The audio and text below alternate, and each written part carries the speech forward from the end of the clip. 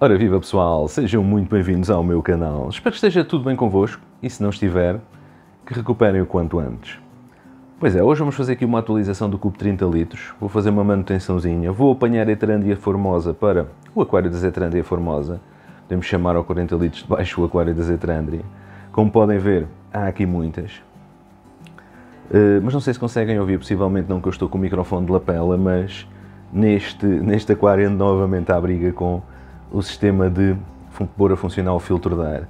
Há dias o filtro estava quase sem caudal nenhum, portanto eu tinha duas hipóteses, ou realmente fazer uma TPA, limpar o filtro e voltar a, a, a colocá-lo a funcionar, ou então substituir a bomba USB por uma bomba, fui buscar a minha bomba de ar um, que eu tinha da Sera, mas faz imenso barulho. Eu estou a usar esponja, daquela esponja usada nos estúdios de gravação para uh, insonorizar, para, para uh, tratamento acústico, para reduzir um bocadinho o volume e reduz realmente o, o som, mas continua a haver bastante barulho. Está um bocadinho melhor, portanto eu não, não tive aqui com grandes, foi, foi, foi no desenrasca, portanto coloquei uma esponja aqui, coloquei outra pela frente e simplesmente prendi, de forma a haver uh, passagem de ar para não aquecer muito, mas isola já bastante o som. No entanto, ainda é um bocadinho, ainda é um bocadinho chato. Estou muito dividido entre deixar isto desta forma ou até estou pensando numa solução um bocadinho radical que é ligar duas bombas USB com aquela peçazinha de ligação, por exemplo, de uma bomba para dois filtros, mas invertida, duas bombas para um filtro. Porque a verdade é só uma, passados mais ou menos 15 dias, este filtro perde tanto caudal que torna-se um bocadinho chato um, de tê-lo dessa forma, pode, basicamente quase não funciona e não faz sentido nenhum, nem é tão saudável quanto isso ligando a bomba resolveu o problema, mas obviamente que o filtro precisará de ser limpo, mas lá está, quando nós estamos a colocar enzimas, ou seja, bactéria aí, para, para criar biofilme, estamos a alimentar em popós pequeninos, etc., mais depressa que vamos por entupir o filtro. Mesmo num aquário destes, que tem uma grande rocha à frente, e se eu alimentar aqui à frente, a sujidade da comida não vai toda para o filtro, mas, mas acaba por sujar. E quer queiramos quer num aquário com... Ok, não terá 30 litros, terá 20 e tal litros de água, porque as rochas ocupam espaço, mas com, com bastante água e realmente um bocadinho mais potência não é mau. Uh, vou mesmo tentar para já aguentar isto assim, pronto, o barulho para já é um bocadinho superior do computador, não é o fim do mundo, mas vamos ver. Vamos ver como é que eu vou fazer. Para já fazer uma manutençãozinha, vou desligar, vou fechar a janela, baixar o store e, e vamos ver o que é, como é que está aqui o nosso cubo 30 litros. Uh, ainda, ainda experimentei, ainda testei aqui aquela luz, estava no, no, no aquário dos Orange uh, aqui, mas não é, não é grande, grande melhoria em relação a esta. Se calhar duas destas lado a lado daria muito mais luz, mas o, o que condiciona, o que faz muita sombra é de facto o facto de haver bastante vegetação, de haverem as plantas flutuantes e da rocha ser muito grande é que causa bastante sombra neste aquário e também não tenho plantas exigentes. Por um lado eu veria melhor os camarões, é muito melhor para filmagens, fotografias para eu ver, mas por outro lado os peixes e os camarões estão fantásticos desta forma.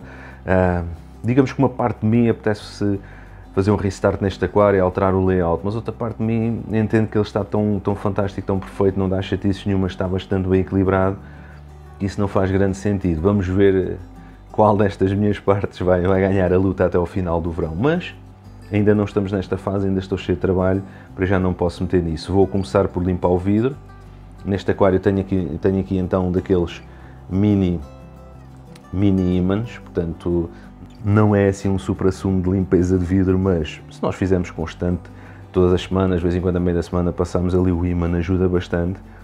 É fácil de manusear, é muito subtil, pode estar sempre ali, não estraga muito, não é. Digamos que não, não, eh, não, não ofende muito à vista quando nós estamos a olhar para o aquário e, e dá, dá muito jeito. As etrandas estão ali a pensar que é mais comida.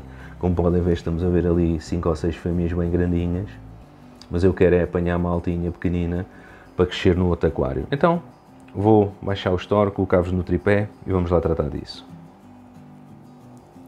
Com o store em baixo nós temos realmente uma melhor, melhor vista sobre o aquário. Vou começar por retirar a tampa, limpá-la e vamos ver uh, o, que é que, o, que é que, nos espera. Talvez também uh, retirar algumas plantas flutuantes, algumas têm as folhas mais amareladas, retirá-las fora.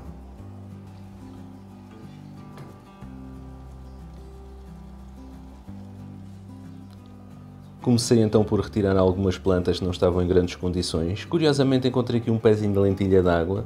Tenho retirado aqui alguns nos últimos dias, não sei de onde é que isto apareceu, mas tem aparecido. Como podem ver, bastante Zetrandia formosa pequenina.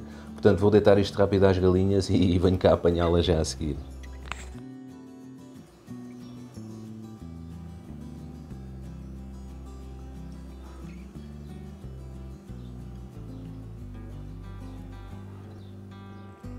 E assim de repente, em coisa de 3, 4 minutos, temos aqui 15 Heterandia formosa pequeninas, tudo com no máximo 1 centímetro.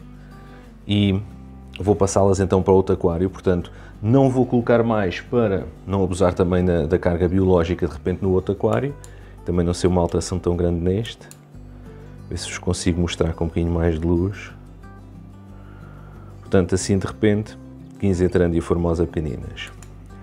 Então vou começar a climatizá-las no outro aquário e continuar a tratar da manutenção deste. Agora vou passar à limpeza do filtro. Sou sincero, não tenho problema nenhum em limpar as duas esponjas ao mesmo tempo. Porquê? Porque é um aquário maturado, montado há um ano, tem montes de bactérias, tem uma rocha enorme, pode ter montes de bactérias, tem uma boa camada de substrato, tranquilo. Mas obviamente vou limpar na água do aquário Tal como vocês vão ver, eu vou meter talvez em fast forward. Vou também retirar algum musgo de cima, ali umas pontinhas com algumas algas que apanham mais luz, tem tido menos plantas flutuantes nos últimos tempos, portanto vou tentar cortar ali um bocadinho de musgo que não esteja com muito bom aspecto e limpar então o filtro.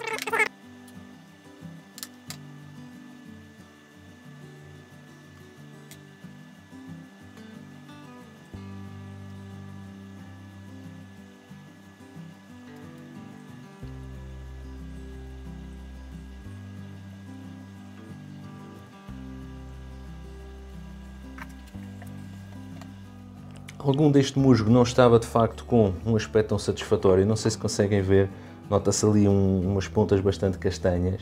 Isto tem a ver com certas zonas onde o musgo é mais denso, não entra luz, só acumula sujidade. Este musgo está a criar uma espécie de uma parede junto a este lado e se eu aqui nesta zona do meio, mais junto à rocha, não estava grande coisa, então eu cortei, mantenho esta parede aqui em altura, mas começa a haver aqui mais espaço. Encontrei também ali um de Java no meio do musgo, está com ótimo aspecto, os fetos de Java não, não tem problema nenhum em estar, estar à sombra. O musgo pele aqui também havia de ser cortado, mas não vai ser hoje, está ali a criar também uma grande quantidade, fica para outro dia, também não quero mexer em tudo e mais alguma coisa no aquário, não gosto muito dessas mudanças de fundo, mas agora desfazer-me deste musgo, o musgo em si um, não vale a pena ir para as galinhas que elas não vão pegar muito bem nisto, mas vou colocar uh, no lixo, mas vou deixá-lo primeiro secar mesmo completamente antes de ir uh, para o lixo, portanto só para a semana é que deve ir para o lixo, vou deixá-lo a secar ao sol e limpar então o filtro.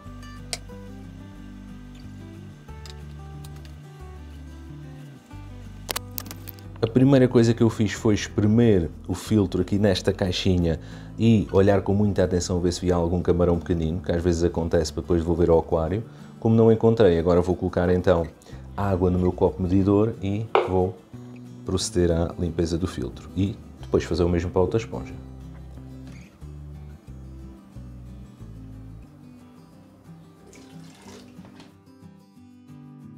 Já coloquei a esponja no sítio, mas a título de curiosidade, vejam, a esponja não estava muito suja. Isto foi uma só passagem, isto não é nada. Vocês já me viram limpar esponjas anteriormente com muito mais sujidade. Portanto, as bombas USB não são realmente grande coisa, na minha opinião, para aquários acima de 20 litros. Já não são grande coisa, porque tenho aqui o 17 litros a funcionar, que é uma maravilha. Mas, se calhar 20, 25 litros para a frente já começam a Embora, mas lá está, eh, eh, voltamos ali ao de 40 litros, tem a bomba USB que ele está a funcionar, mas pronto, também tem muito musgo, digamos que é ali um ecossistema que funciona com um bocadinho de sorte também. Neste caso específico, se o aquário é um bocadinho mais alto, não sei, já não, não tenho o mesmo rendimento das, das bombas USB. Por acaso até estou à espera de um modelo diferente que encomendei agora, uh, também do mesmo género, mas ligeiramente com, com, diferente, uma construção um bocadinho diferente. Pode ser que estas venham um bocadinho melhores, vamos ver, mas para já acho que vou manter esta bomba. Bem, mas dito isto, vou limpar a outra esponja, devolvê-la e já cá voltamos. A segunda esponja também não estava mais suja do que a primeira, portanto não foi por aí que o filtro perdeu força. Este, este filtro, já agora um, uma parte, Recentemente eu troquei o filtro deste aquário, portanto eu troquei o filtro de esponja que aqui estava, deitei-o ao lixo, estava imundo, estava as esponjas estragadas, coloquei um filtro novo. Há dias houve uma confusão com um amigo por causa de uma situação de uma mudança de filtro. Eu fiz mudança direta, eu não espremi as esponjas do filtro velho aqui. Porquê? Porque este aquário já está montado há quase um ano, já tem mundos de biologia. O que eu iria fazer era possivelmente provocar aqui um pico de amónia. Eu troquei o filtro diretamente, um foi para o lixo, coloquei aqui o filtro novo e Fiz bactérias durante uma semana. Eu uso Stability, como vocês sabem, mas cuidado, pessoal. Uma coisa é iniciar um aquário que tem biologia zero, em que eles precisam de bactérias, as bactérias precisam de amónia e isso tudo se equilibra em poucos dias. Outra coisa é um aquário já maturado. Se forem trocar de filtro, o ideal é colocar os dois a funcionar em simultâneo durante uma semana, depois tirar o velho, manter o novo e eu reforçaria sempre com bactérias. Ou então trocar diretamente, não alimentar muito nos primeiros dias e reforçar com bactérias mas não espremam como fazemos para iniciar um aquário, por favor. Agora, vou retirar alguma água. Ah, já agora o sistema que eu uso é um, um daqueles um, sistemas de trocar água dos chineses mais ranhoso que pode haver. Não uso esta parte, cortei isto fora, mas uso aqui uma rede de inox de pré-filtro. Também uso este sistema para encher o 200 litros, ao contrário, portanto a água bate aqui e não tenho de estar preocupado em remexer no aquário. E para retirar aquários de camarões, eu uso isto em todos, não interessa, faço sempre isto. Portanto, simplesmente uma pessoa aperta neste lado do azul, começa a funcionar e está a andar. Se baixarmos então um bocadinho, isto corre no instante e, e, vou, vou tirar, já tirei daqui cerca de um litro, um litro e tal com esta história toda, agora vou tirar mais um litro e meio, vou fazer uma TPA de cerca de 3 litros, portanto depois disto vou tirar mais um litrinho e começar a encher. Portanto, vou tratar disso, começar a encher, já agora vamos ver como é que está esta água, até está bastante cristalina, nada amarela, diga-se, para um aquário que está montado há imenso tempo e a única filtragem que tem é filtro de esponja. Ok, então vou tratar disto, depois coloco a encher, já cá vos trago e depois vamos ver a Zetrandia formosa entrar no outro aquário. Agora para encher não tem segredo, coloquei a tampa, coloquei a tampa um bocadinho chegada à frente, conseguem ver que ela está um bocadinho chegada para cá.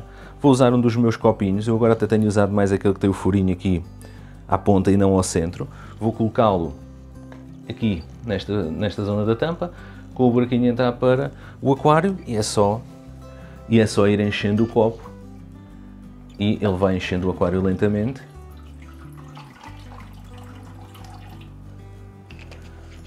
Quando o nível da água subir mais um bocadinho, posso ligar o filtro, embora neste momento o filtro, eh, ou melhor, a bomba até é bastante potente, portanto é tranquilo se eu até ligar já. Mas para já vou deixar encher mais um bocadinho e vamos ver a Zetrandia Formosa entrar no outro aquário. Já agora, esta água, como é óbvio, está mineralizada com minerais da Salty Shrimp, o GH-KH+, que eu preparei ao longo da semana, já há dois dias, se não me engano, e agora é só usar.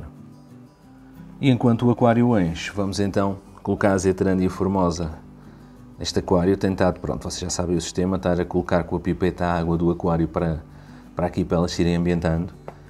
E neste momento vou colocá-las ali dentro do aquário, Uh, não estou nada preocupado com contaminação, portanto vou misturar as duas águas, não há de ser nada, e colocar então as 15 dentro do aquário. O ideal era conseguir não fazer asneira, mas vamos tentar assim lentamente. Elas até costumam saltar. Vamos ver se acontece alguma coisa neste caso. Vão agora as primeiras a cair. Aí, já foi uma, duas, três. E agora temos de dar uma ajudinha a saírem todas, cuidado que isto é malta também para ficar no fundo e não sair logo. Portanto, muito calmamente, ir virando e depois as últimas até aí vão elas.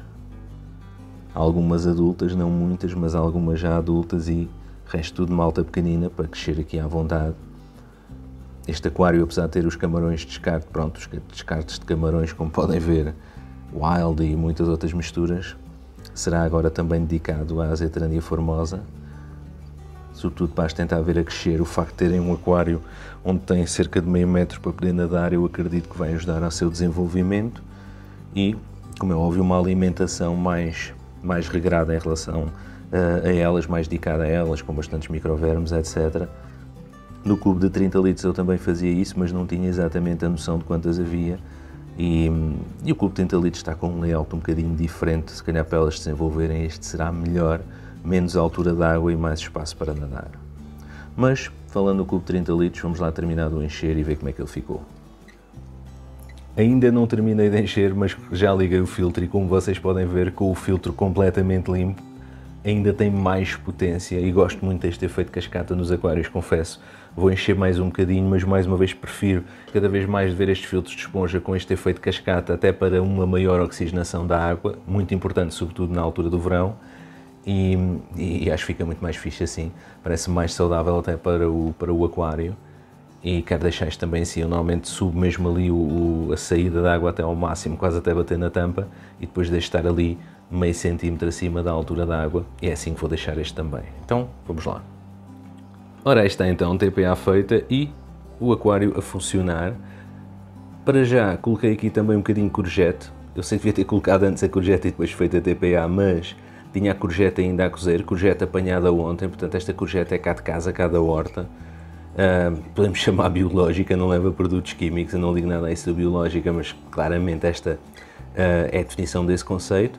Os camarões já deram com ela, no entanto, onde eles andam sobretudo é no filtro.